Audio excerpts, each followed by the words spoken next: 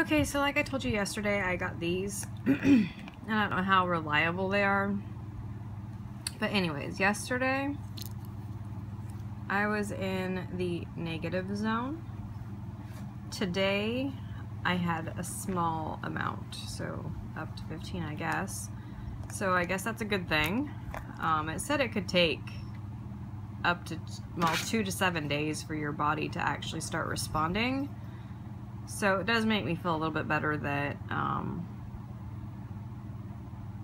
you know, it actually changed to a color today because, um,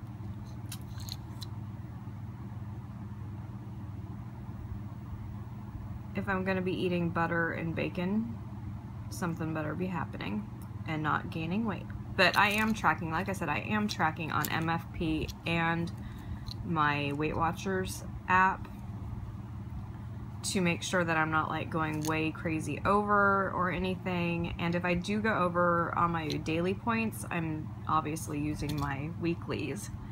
Um, and when I start, if I start going over my weeklies, I'll be concerned. But so far, um, I'm doing okay. Hi guys. So I read, and you know, there's probably conflicting info. You're not gonna be able to see me here a second because there's gonna be a break in the trees. Um, actually, it's not bad. So I read that it's best when you're trying to get into ketosis to exercise while you're fasting or whatever, which I usually do do that, but I, sometimes I have like a snack in the car. But I didn't really have any snacks I wanted to bring in the car. So I'm gonna do this. And by the time I get done, it's gonna be like 10 o'clock. So I don't know. I don't know how I'm gonna fit everything in because I have to go home after that, take something to the post office. So I might, when I go back home, I might just grab a Babybel cheese because that's on my list of things to um, eat today. Oh, and maybe get some coffee. And then um, go to the post office and then go to the um, to Fred Meyer's and grab the stuff that I need. And then come back and make breakfast. So it's gonna be like 11 o'clock by the time I have breakfast and it takes a minute to cook. I don't know, we'll see. Talk to you guys. We're here again in our favorite spot, obviously. Uh, here's the uh, wheel boat.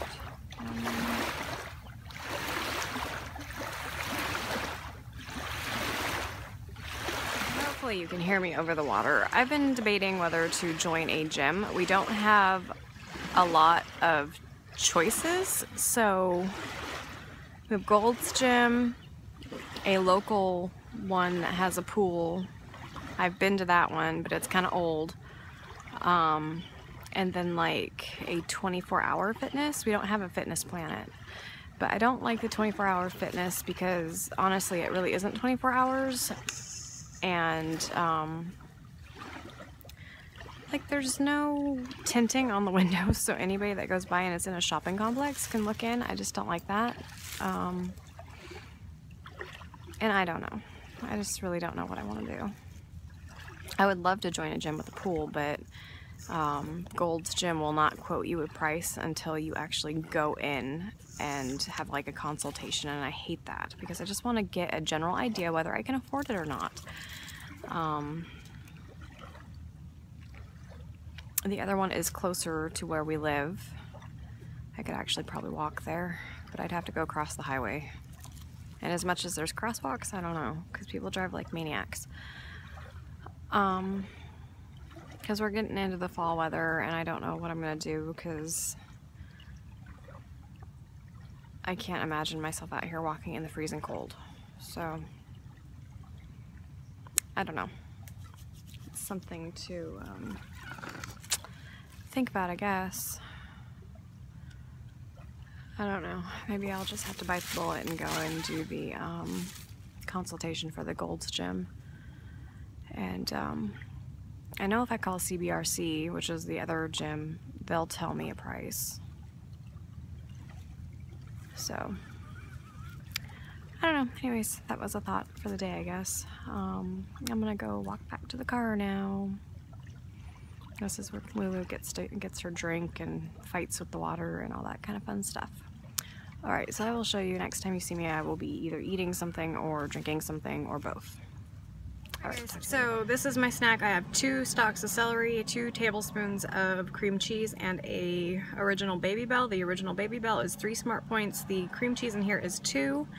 Um, I'm gonna take them apart. I just unexpectedly got called to my mom's house, so I am kind of in a thing. And then I also have in this mug um, 12 ounces of coffee, um, three tablespoons of the sugar-free pumpkin spice international delight.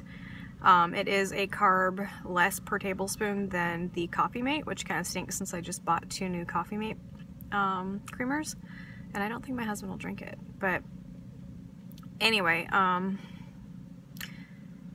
so that is what's in there. It is either one or two smart points. I entered it in. I can't, I don't remember.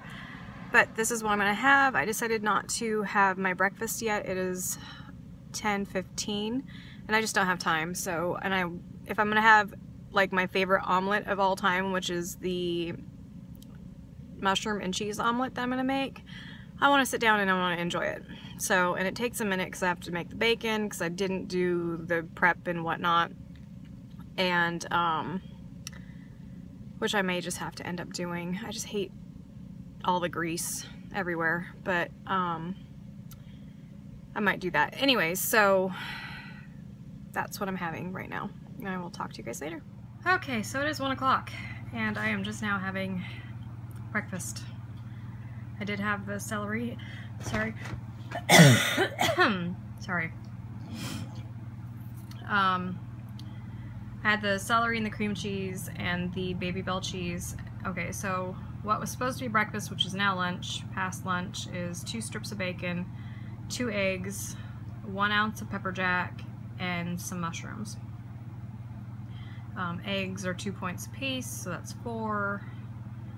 The cheese, I think, was probably four. The bacon was four or three. I don't remember, but I, I will, at the end of my vlog today, I will post um, my Weight Watchers diary entries and MFP. Okay, I probably shared with you guys before, but I wanted to share with you guys again. This is like my favorite coffee. It's vanilla cream puff. It is so good. And like if you use even like the um, sweet Italian cream, it is so good. Um, I love it. Anyways, I just figured I would share that. I've been getting the the Hawaiian coffee, the Kona or something, just because I like the K-Cups because they have a filter on the bottom. They were not on sale, and these were again, and I just, I cannot even tell you, I love this K-Cup. And I think it will be good with the pumpkin spice.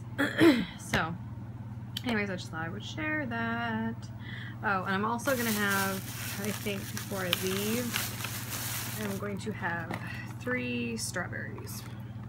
Because you can have berries on the keto thing. And like, oh well, I'm going to have to turn you around and maybe talk to you later about the whole um, keto confusion. Okay, so I figured I'd film this now since I have a few minutes before kids start filtering into the house. Um, so I don't want to label it as um, me doing a keto diet or anything. I'm just I'm using the same concepts. It's just I don't sorry. I don't want to label it because I don't want the keto police after me because I'm not doing this or I'm not doing that right. I'm doing what is what I'm hoping is right to reset my metabolism and my um, weight loss because it really has stalled lately and I am so close to the 100s that it's not even funny and it's driving me a little crazy. And I figure if I can try the vegan thing for what, two months or something like that. This is not any more unhealthy, at least the way I'm doing it, or at least the way I feel about it. It's not as un unhealthy. Um, so I'm trying it for a week or two, possibly a month if it works, and um, get to where I want to be and then go back to my normal way of eating, which is just eating within my um, smart points but my smart points are at 30 and I am kind of piggybacking my, well I am piggybacking my um, tracking with Weight Watchers and MFP just to see where my macros are and everything. And I'm still coming within either 27 or 30 smart points a day. So I'm not like going crazy over my points or anything either. So um, it is what it is I guess but again, I just, I don't want to label it. Um, I'm just going to experiment and see if it works. And if it works, then I'll keep with it for a week or two. And, um,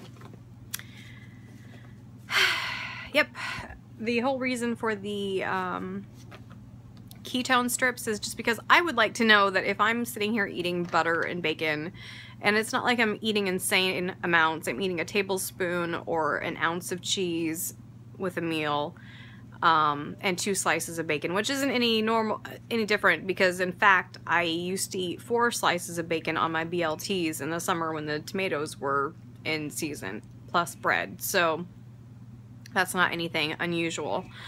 Um, and I will not eat anything that I'm uncomfortable with eating because, again, like I said, with protein and meat sometimes, it just doesn't work for me. So I have incorporated my vegetarian stuff into my plan of what I'm trying to do. And again, it's just my plan. It's not anything else. I'm just trying to take little pieces from other people's successes, I guess, and incorporate incorporate them into mine to make myself self successful to lose a little bit more weight where I'm trying to get to because again, I still have like 50 pounds to lose, but I would really love to be in Onederland soon. So that is hopefully enough explanation as to what I'm doing. Um, if you have any other questions, leave them below. Alright, so this is dinner. This is a griller patty, green beans, Babybel. There is one tablespoon of um, Kerrygold between this and I put a little bit on top of the Morningstar Griller, which is three, Kerrygold Butter is five, Green Beans zero, Babybel three, and like I said, I will show you my macros at the end of the day. Okay, so due to my weird eating habits today and not being able to get certain foods in, I only ended the day with like 900 calories and so I had to add stuff. So I added another coffee right here. Um, smart points wise, it is one smart point. Um, calorie wise, it's like 100 and 120 or no 246 60 60 calories and three carbs but anyways Again, I will post that part at the end of this. Um, and I also added a serving of almonds for 170 calories and it's five smart points. And that is my day. And I will talk to you guys tomorrow. Have a great night.